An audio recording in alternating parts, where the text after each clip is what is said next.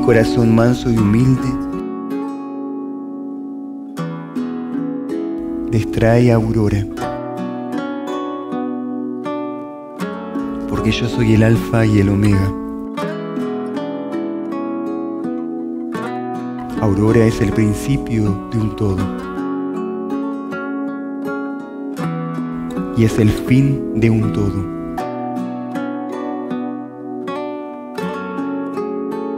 Entra en mi corazón y encontrarás tu casa, tu origen y tu principio, tu camino y tu verdad. Entra en mi corazón y no te preocupes. Allí se guarda un tesoro, pensado por el Padre para ti, desde el principio de tu esencia, el momento en que fuiste creado, en el vientre de tu madre, porque allí, en mi corazón, nada más importa que solo tú te unas a Dios el Creador, porque lo estarás haciendo por aquellos que no lo hacen, por los que no lo viven y tampoco por los que no lo buscan. Escribe en tu corazón mis palabras y que ellas no desaparezcan. Feliz será el que siga mi luz y la reconozca dentro de sí, porque no perderá oportunidad de sentir el poder y la fuerza de mi amor. Cuando mi luz está presente, no hay tinieblas. Mi luz es la esencia del amor. Y mi amor es la esencia de la vida. La vida que Dios nos ha dado desde el principio a todas sus criaturas. Bellísima es su luz en el universo, porque es triunfadora y no se puede derrotar. Hasta la última gota de mi esencia está siendo entregada. Y estoy dando cuentas por ustedes y por el mundo ante mi Padre. No rechacen ni pierdan esta oportunidad, porque ya son las últimas. Y en ustedes deberán estar vivos todos los tesoros que mes a mes y que de tiempo en tiempo les he entregado a través de este simple encuentro de oración. Lleven a todos hacia mi corazón Hoy emito una irradiación para todos mis amigos.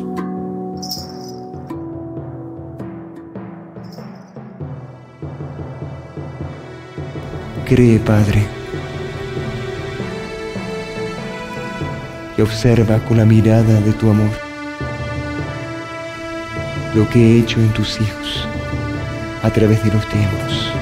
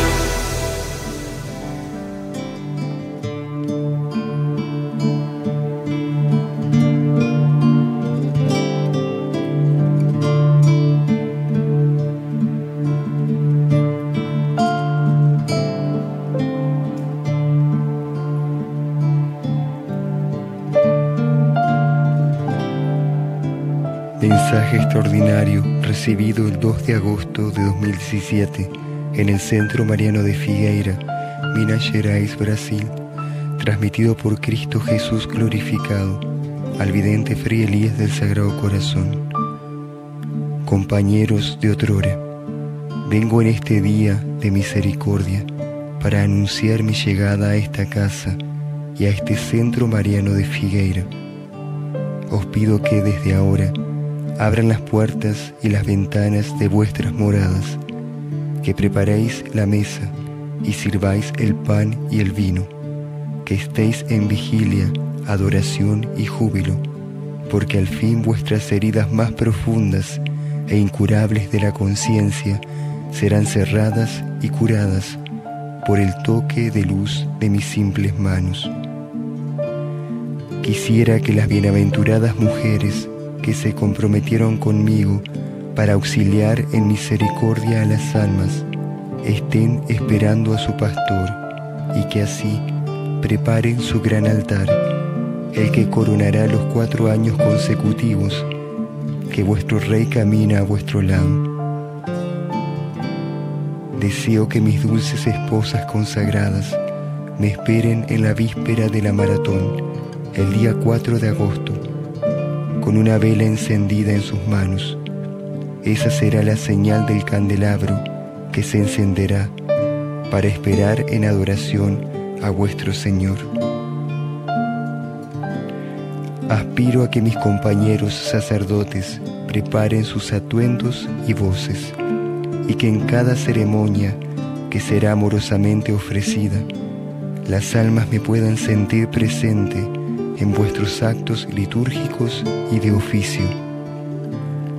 Quisiera que cada peregrino, orante, devoto y creyente de mi sagrado corazón, supiera que también está recibiendo el llamado para estar presente incondicionalmente en este sagrado santuario de la paz, para recibir lo que espiritualmente necesita y para donarse por entero como persona y como espíritu. Para este cuarto aniversario de mis encuentros de misericordia, quisiera, en verdad, que no solo adornarais con flores el altar de vuestro Señor, sino que vuestras presencias glorificasen ese altar durante todos los días de la próxima maratón, porque así haréis más viva y resplandeciente la venida de vuestro humilde pastor. Hoy me digno a llegar inesperadamente a visitar vuestras conciencias, porque necesito que al fin confiéis en mí durante esta fase aguda del planeta, en la que vuestra humanidad se purifica poco a poco. Necesito, compañeros míos, que en verdad todos estos encuentros de agosto, que serán irrepetibles, sean vividos por cada ser como algo único e imborrable. Vuestro Maestro del Amor os llama a ser agradecidos, no solo por toda la instrucción divina recibida, sino por la acción incesante de mi divina misericordia en los seres más miserables de este planeta y en las almas más perdidas de esta humanidad. Por último, deseo ardientemente que vuestras almas durante el mes de agosto sean candelabros de luz y de misericordia. Quisiera que durante cada encuentro vuestras esencias se encendieran y vuestros rostros reflejasen una hermosa sonrisa para vuestro Señor y para vuestros hermanos. Quisiera que salierais de cualquier amargura o sufrimiento, porque mi gloria eterna, que es la gloria del Padre, estará descendiendo durante todo este mes. No olvidéis que tendréis la gracia de poder crecer en el amor. Quisiera que mi figueira se vistiera de fiesta, así como la joven novia que está lista para entrar a la iglesia unirse a su amado esposo celestial. Abrazad con fervor mis palabras, y vuestros corazones podrán estar libres de este largo, pálido y frío invierno. Mi divino fuego viene para encender en ardor a las almas. Dichosos serán aquellos que aquí lleguen e ingresen al templo de la oración, porque serán quemados por el fuego de mi eterno amor. Id y corred, lavad vuestros rostros en la fuente, para que estéis limpios, pues ha llegado la hora de volver a unir a los discípulos, a todas las ovejas, en el gran cenáculo de la redención. Recordad que estaré caminando por los caminos de Figueira, deseando encontrar almas en oración, preparando mi cordial llegada. Esta próxima maratón será culminante. Adelante, mis compañeros, es hora de viajar al centro mariano de Figueira. Vuestro Señor os está llamando para celebrar este momento por toda la humanidad. Les agradezco por acompañarme. Dios les agradece siempre. Cristo Jesús glorificado.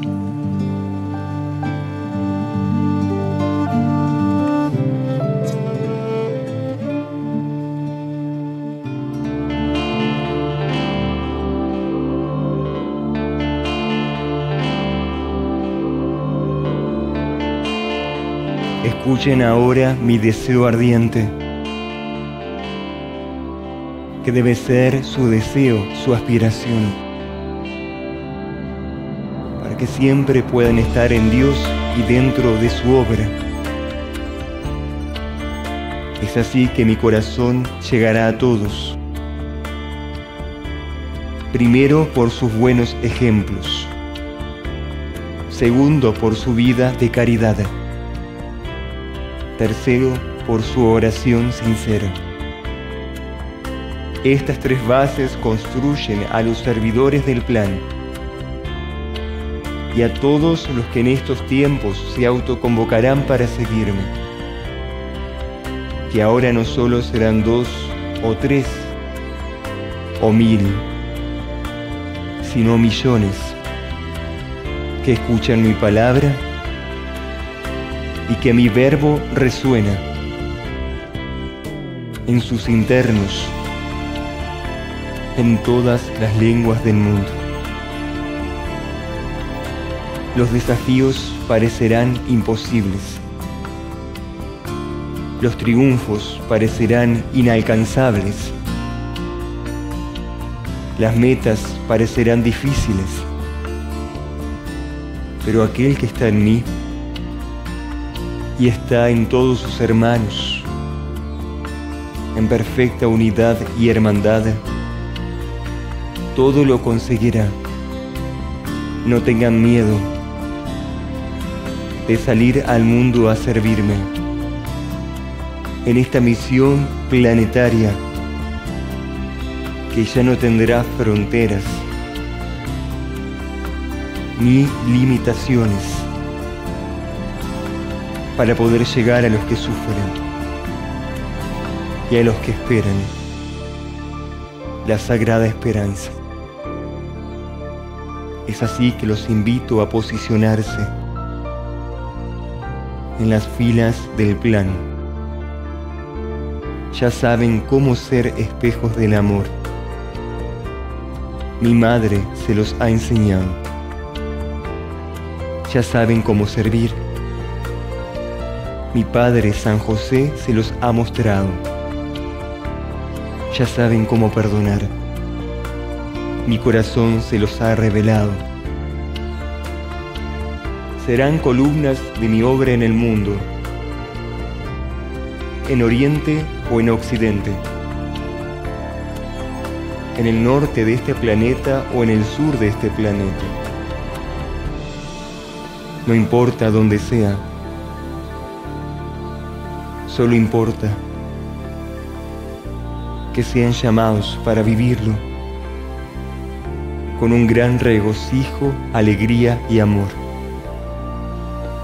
Hoy mi manto de luz está bordado por todas las banderas de las naciones del mundo.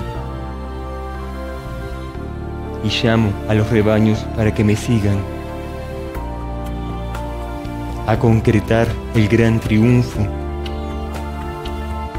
de la misericordia de Dios.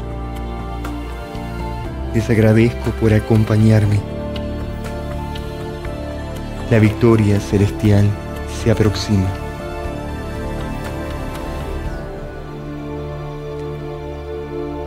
Únete a la causa de ser su mensajero. Ora sin cesar porque ya estamos llegando a la gran batalla que define esta era entre el amor y la indiferencia. Ora corazón sincero, ora por amor, ora corazón sincero, ora por amor.